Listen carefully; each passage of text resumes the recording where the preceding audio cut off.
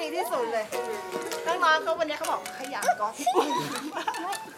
ขอบคุณครับ ขอบคุณมากนะครับ ขอบคุณครับ